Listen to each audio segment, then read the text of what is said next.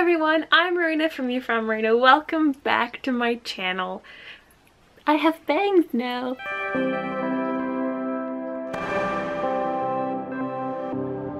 Today, I want to share with you my NaNoWriMo survival kit. It's a survival kit of five things. Um, obviously not a lot of things, but I just find these things very helpful when I'm going through a period of some serious writing. If you have any other things to add to this list, please do so down below to let us all know what you need to get through this insane month of writing. Also, you should know I have never actually finished NaNoWriMo before. Actually ever like completed the 50,000 words. Blame it on school, I blame it on work. It's just I've never done it before. And I'm gonna get to that in my fifth item in my survival kit. And you'll understand what I'm talking about. Without further ado, let's begin.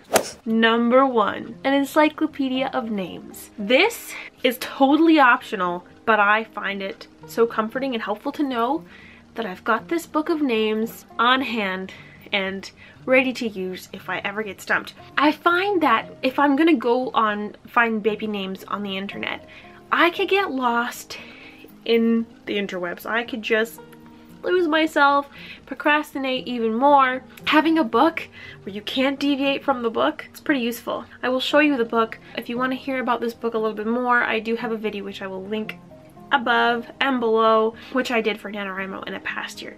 So this is the Writer's Digest character naming source book and it has been an endless source of inspiration for me over the years. Sorry, I'm just not used to seeing myself with bangs, so yes. It's just got an endless amount of names and it'll save you. You don't always have to stick with that one name, which is brilliant, but if you just need something to get you out of a rut, then this is your tool. Survival tool number two. This tool comes in many forms. This is a notebook. Every writer needs a notebook. I find that keeping everything in a notebook, structured in a notebook, is really helpful. So I have this one to show you. It's a little tiny Moleskine notebook.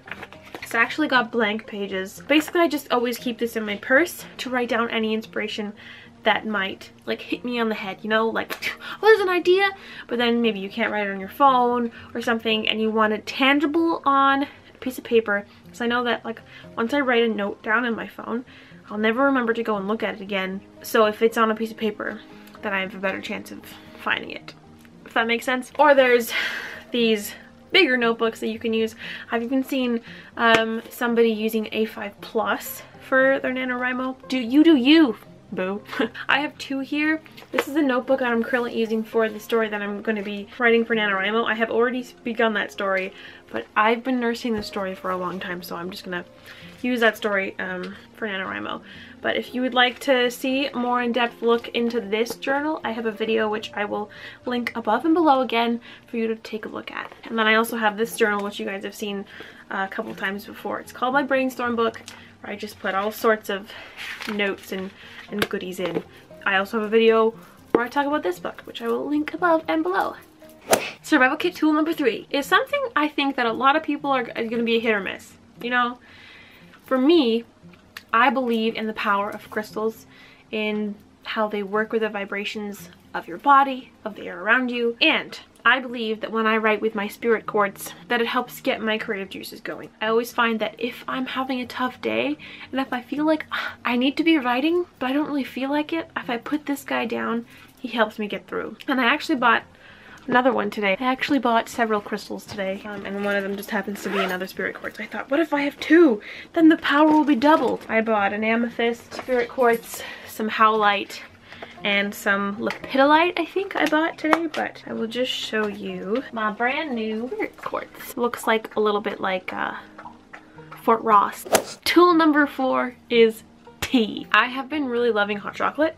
I got this big box of 40 packets of hot chocolate from Costco the other day and there's Rolo, there's Macintoshes, there's After Eights, there's, and there's one more. Coffee Crisp, I think. They just, and I'm lactose intolerant, so I've been using soy milk instead and it like foams up and it's so good. I love it so much. So hot chocolate or tea or if you're a coffee drinker, why not? Just have some, some sustenance with you, you know. Popcorn sometimes, I found when I was studying or writing essays, popcorn helps me get through tool number five is probably the most important tool and that is patience, my friends. Patience. I mean, it, it sounds a little cliche, but I think it's important to remember that this is supposed to be a time for you to do your best and to write. I've never ever been disappointed in myself except for the first year because I was still learning. In the years since that I participated in NaNoWriMo, I'm never disappointed that I don't finish 50,000 words. And the reason is, is because I'm still writing every day. I'm still writing, doing as much as I possibly can.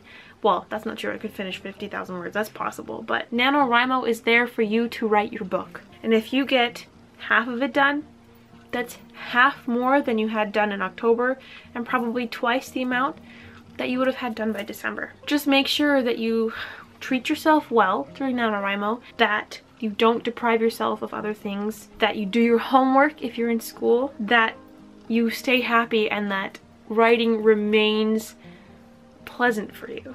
And that you don't stress yourself out, that you don't get depressed, that you keep your mental health and your physical health in mind. Just remember this is fun. This is for you and your own journey to progress in that. And if you can get 50,000 words out, kudos to you because uh, so far I'm not there yet. Those are the five tools that I have to share with you from my NaNoWriMo experience and what has helped me write. And remember that if this is your first draft, like it is for most of us, your first draft can be shit, and that's okay. You can revise later. But right now, it's time for you to word vomit and get out everything that you need to get out in order to make this story possible and in order to get it that much closer into all of our hands so that we can live in your magical world. Is that too cheesy? I don't know. If you would like, I will leave all my nano info if you like, you can take a look in the description below. I've got all my NaNoWriMo information. So if you want to add me as a friend on NaNoWriMo, then we can follow each other, root each other on. Let me know how you're doing. Tell me on Instagram, on Twitter. Let's be uh, NaNoWriMo forced for good and let's get this 50,000 words or less or more done. Thanks for watching guys. I hope this helped. Let me know your opinions below and I will see you in the next video. Bye guys! These bangs. Just got them cut today and they tickle.